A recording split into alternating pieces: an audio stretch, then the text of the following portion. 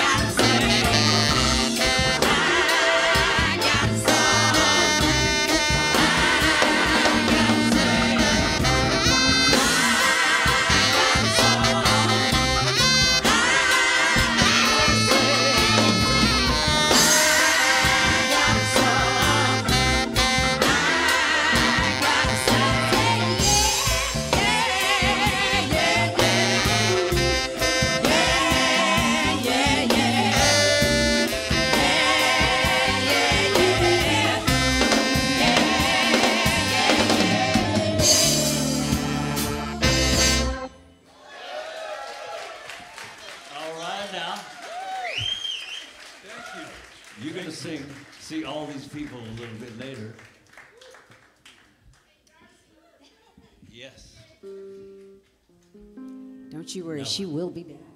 That's right. okay, Little Leigh Harris. She was a Southern girl. She loved those Northern poets, the Cohens and the Dylans and the Simons, especially Joni Mitchell. But when she put her folk poetry through those greasy realms of New Orleans music, it got a lot bluesier. Debbie Davis is going to lead us in a tune right now called Crazy Mirror.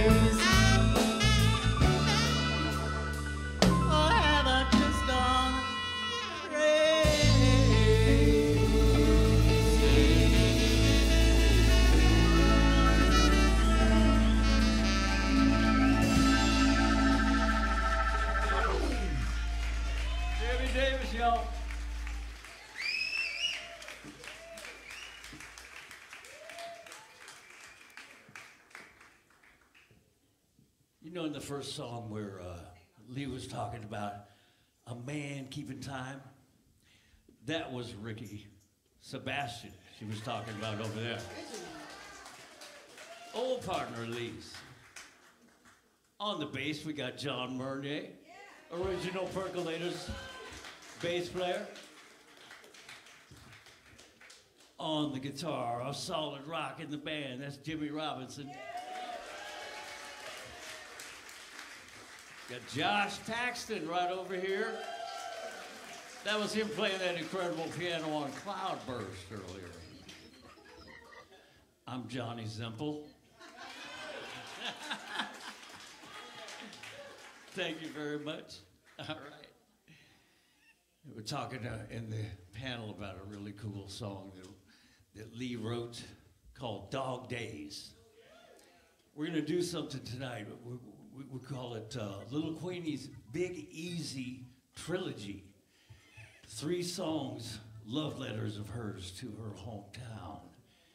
We're going to start with, with Dog Days here, um, in which we find our heroine taking on the topic that few dare to tackle. It's the heat, but more than that, the humility. Leading us in this will be Lenny Zenith and Alison Young. Josh on the piano.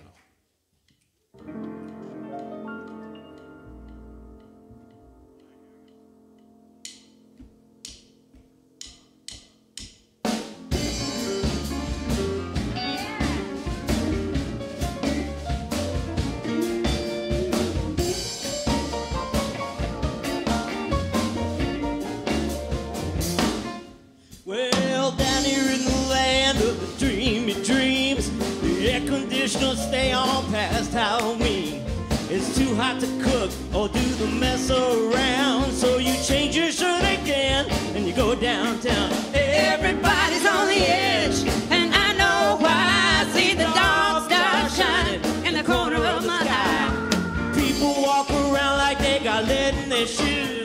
Cause who wants to dance with those dog day blues? A nice cold tub would make you feel okay. But how many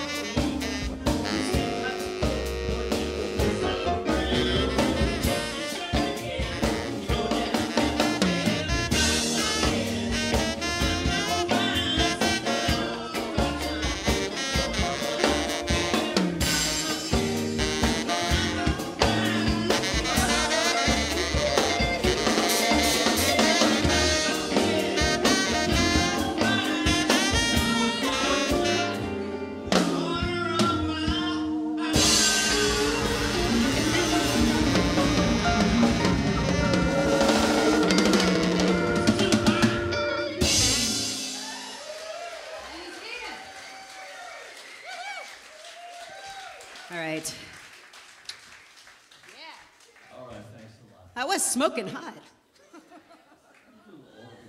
volume here. if you could.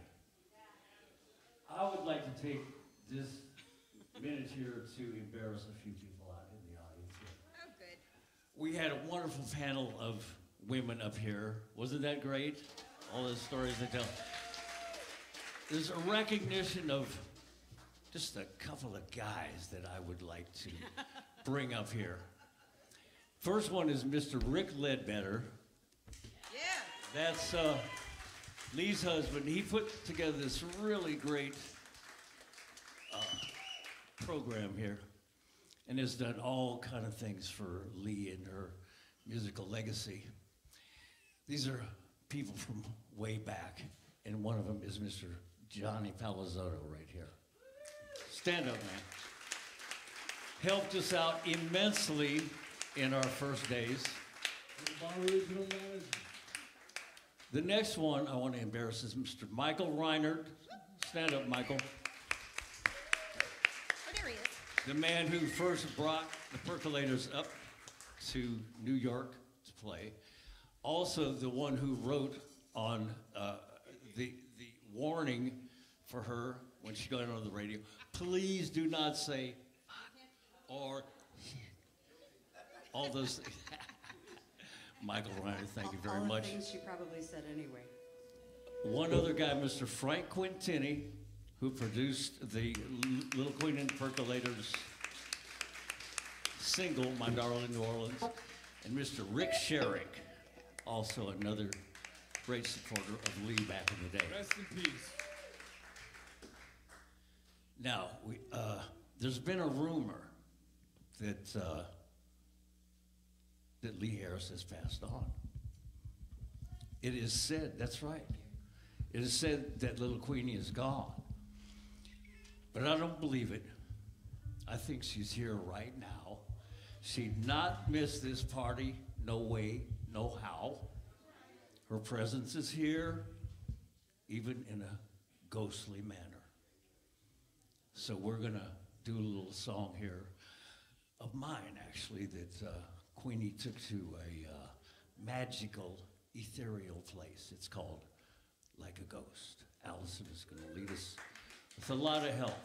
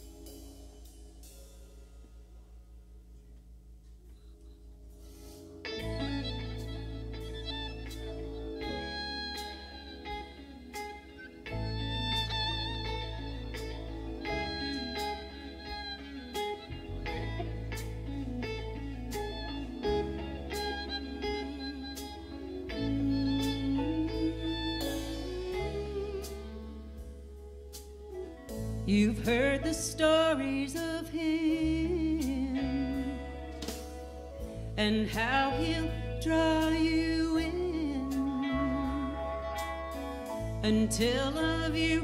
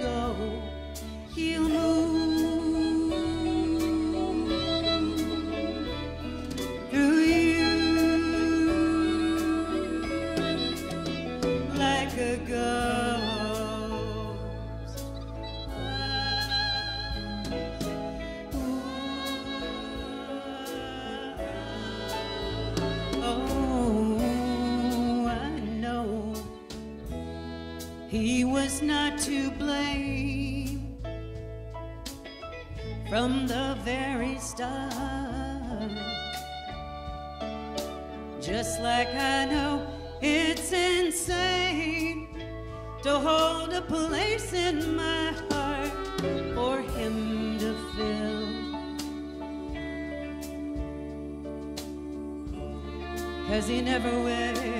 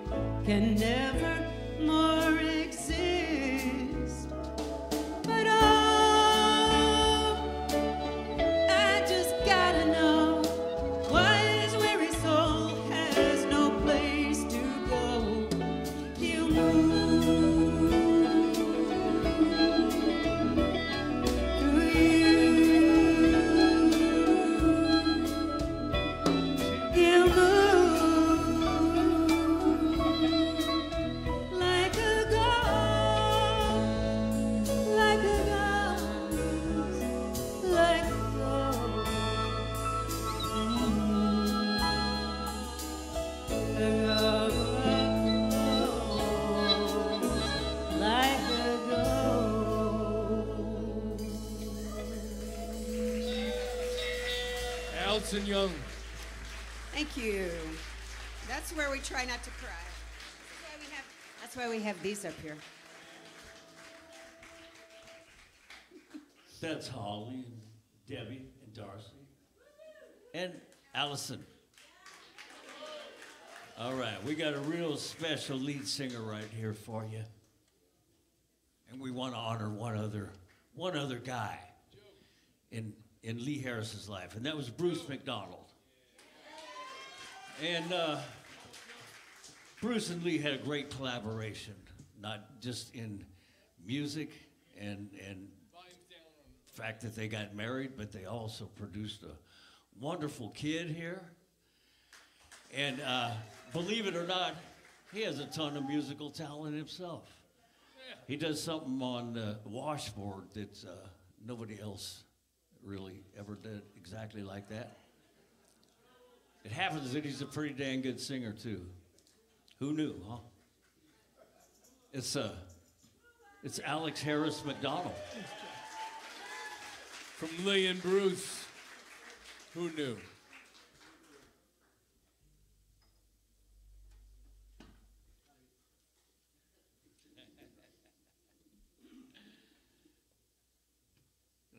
Gonna minute for. Somebody tell John to stop lying. I would have no living left.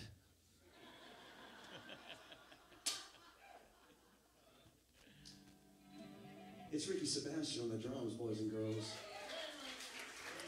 Let's hear him get wicked. I failed to mention that was Tom Marin on the violin there before.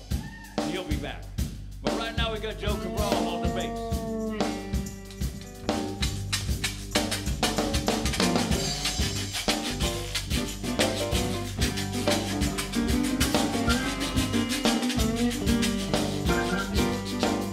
You made me your fool so many, many times. You empty my pockets, pennies, nickels, and dimes. You take me down easy, uh, inch by inch. You stole my soul sugar, pinch by pinch. You got me under your spell, got no mind of my own. Sticks and stones. Slingshots and boomerangs. You won't be happy till you see me hang. You way down wicked, but you just don't look it. You're so good looking, but you're so damn crooked. You're crooked like wood, I wouldn't be good for no slingshots and boomerangs.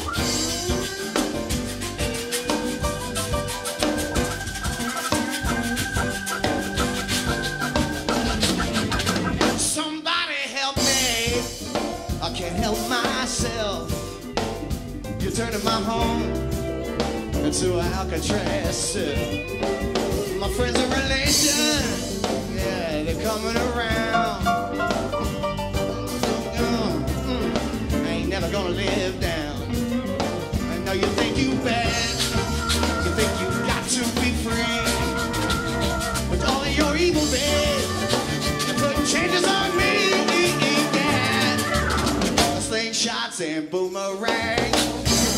You see me hang. You're way down wicked, but you just don't look it. You're so good looking, but you're so damn crooked. You're crooked like wood and wouldn't be good for enough of me. Slingshots and boomerangs.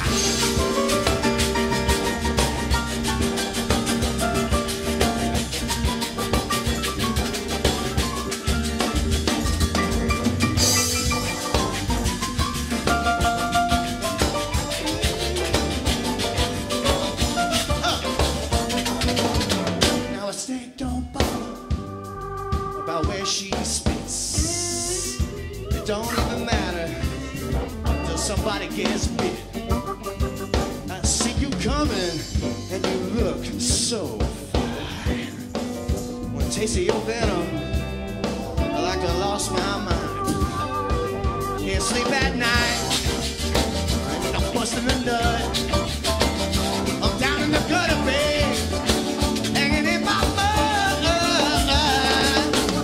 Slingshots and boomerangs. You won't be happy till you see me hang. You're way down wicked, but you just don't look it. You're so damn crooked, but you're so good looking. You're crooked like slingshots and boomerangs.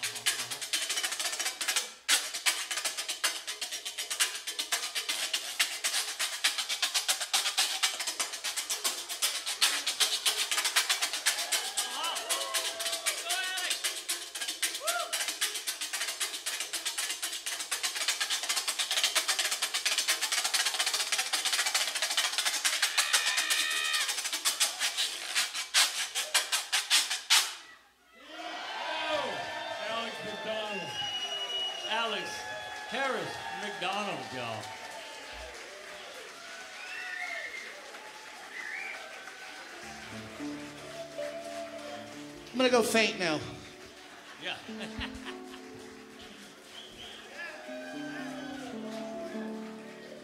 okay, we're gonna do number two in the Little Queenie Big Easy trilogy here. The song called Gumbo Heaven. And I'm here to declare this the best gumbo song ever. I got proof. The reason is, I mean, first of all, you couldn't have a more personal, poetic, provocative description of gumbo ever.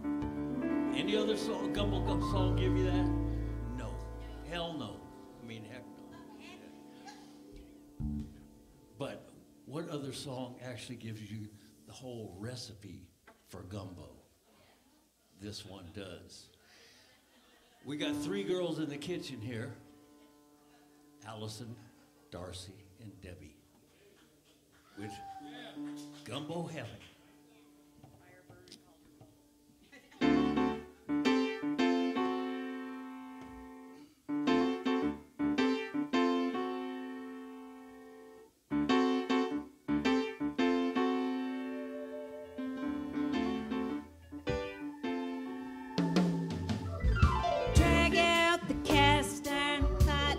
little sister gonna put up a big black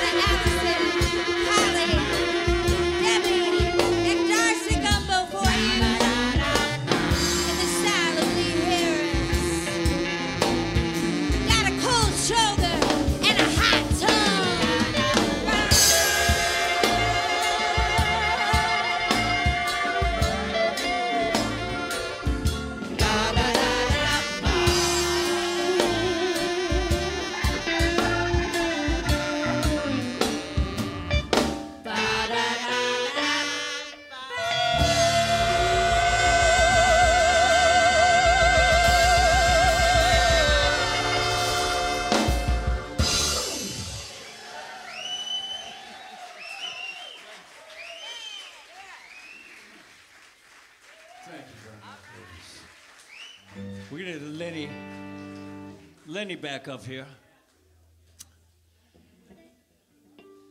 And as as uh, the ladies were saying earlier, one of uh, Leigh's favorite groups during her life was the Mixed Knots, of which we have some of the founding members right here with uh, with Jimmy Robinson and Tom Marin over there on the fiddle. And, and also they brought up the fact that uh, Leigh did so many songs. I, mean, I, I think what we're trying to show here tonight a whole lot is how great her originals were.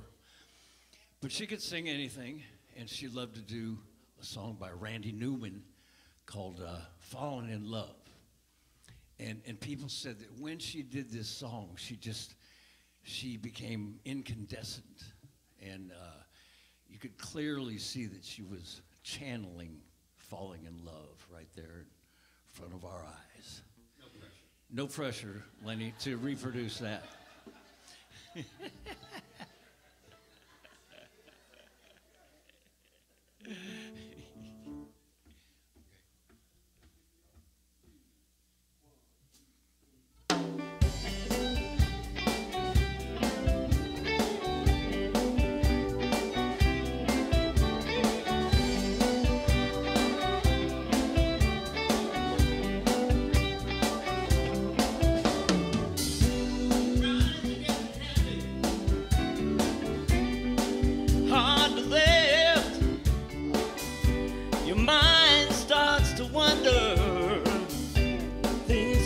Your arms are getting heavy, hard to lift.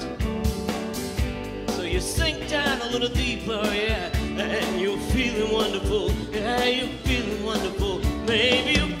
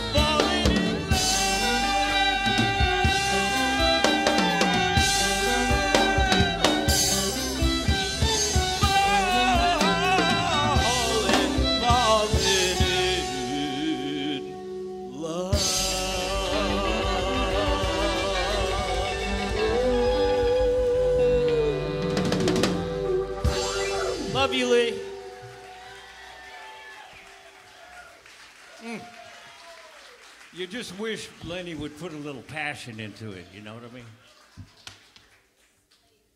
Come on back up there. Alison, Darcy, Debbie. Yeah, you can be in the band. All right. We do a song here that, that, that Leigh wrote, and I helped her with it. It was called. It's called "Just Practicing." I was just practicing until I found you. And uh, Darcy's going to take the lead on this, and uh, with a little bit of help from all the rest of us.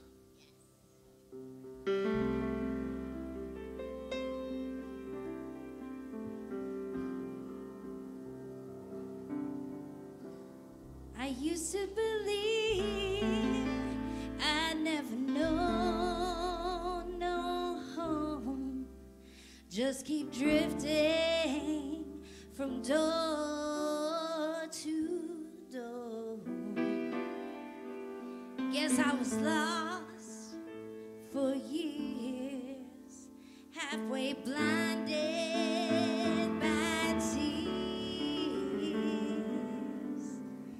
and wondering what in the hell I've come here for.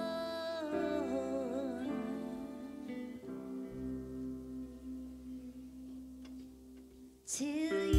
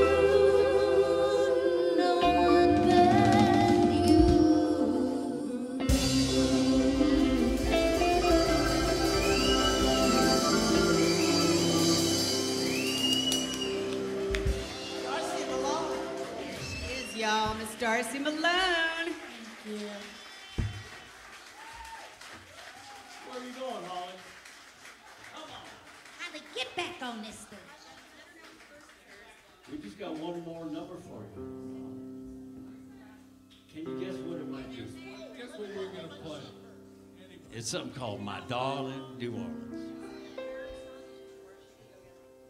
This is the third song in the Little Queenie Big Easy trilogy.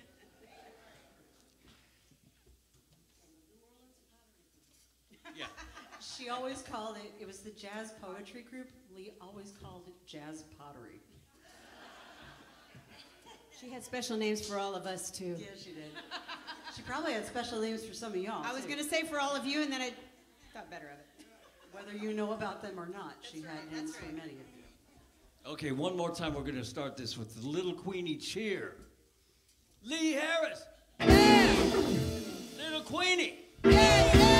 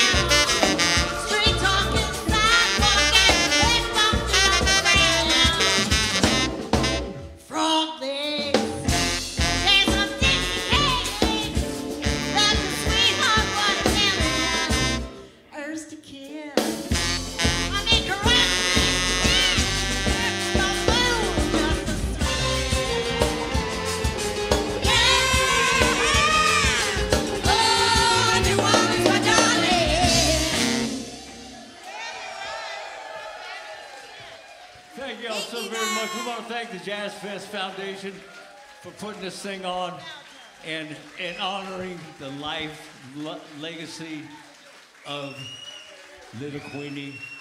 We know she's here. We love you. We love you, Leigh. We know you're here with us. Thank you so much, everybody. Ricky Sebastian, Joe Cabral. We got Holly, we got Debbie, we got Darcy, we got Alison, we got Lenny. We got John Meunier, we got Jimmy, we got Josh, and we got Zimple. And we I got miss all of you. Thank you so much Oh, to the and Jazz and Alex. Heritage Foundation Alex, and the Historic New Orleans Collection for this incredible night and opportunity. Please take your programs home. We made them with love, and uh, it's a little souvenir. Yeah, please take them Thank home. Thank you so much. And go visit the Historic New Orleans collection. Support